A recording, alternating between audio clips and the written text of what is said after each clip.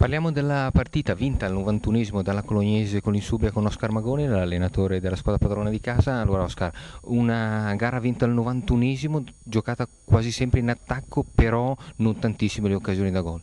Sì, è vero, siamo stati molto propositivi nel gioco, abbiamo spinto parecchio, è chiaro che però negli ultimi metri ci è mancata un po' di qualità, non eravamo molto lucidi oggi e, e niente, comunque alla fine l'abbiamo vinta, domenica scorsa abbiamo buttato una partita al 95esimo, oggi l'abbiamo vinta al 91esimo, è un risultato importantissimo in previsione del nostro campionato che ci dà un, un bello slancio verso la salvezza, dunque siamo veramente molto contenti. Insomma, parlare di salvezza per una squadra che è al terzo, secondo posto in classifica forse è un po', un po esagerato, no?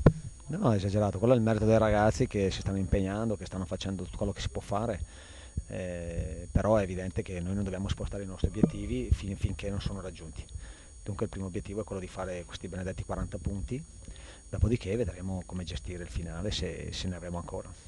E, tornando alla partita di oggi, invece, eh, cos'è che è mancato alla tua squadra per vincere prima questa gara? Insomma, guardando assetticamente un po' il tabellino, un'ora con l'uomo in più, forse bisognava chiuderla prima? Sì, sicuro, sì, no, abbiamo avuto sicuramente un vantaggio enorme avere tutto quel tempo di, di, del vantaggio numerico, questo è indubbio.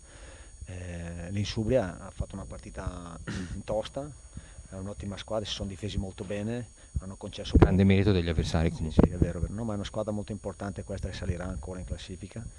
Era partita con altri obiettivi, comunque loro si sono difesi veramente molto bene, noi abbiamo provato in tutti i modi a scardinare questa difesa, però devo dire che gli attaccanti oggi non erano in grandissima giornata, ci è mancato un po' il colpo decisivo. Eh, hai già detto della salvezza, vabbè, ti chiedo comunque come vedi le prossime partite della tua squadra eh, e come vedi il futuro della Colognese. Eh, la vedo difficile sempre perché abbiamo adesso tre partite in una settimana di cui due fuori casa con delle squadre che lottano per salvarsi come, come la Castellana, come il Trento. Giochiamo contro il Villafranca, contro um, il Castiglione domenica, una squadra che nell'ultimo mese è quella che ha fatto più punti di tutti e poi abbiamo il Mantova, dunque abbiamo 4-5 partite veramente toste. E invece l'ultimissima domanda sulle sensazioni di questo nuovo ambiente della, della tua squadra, il nuovo campo, anche i nuovi spogliatoi. Nuovo, nuovo... Ottimo, noi ci alleniamo qui da, da quest'estate, siamo molto contenti della nostra struttura, ci alleniamo molto bene.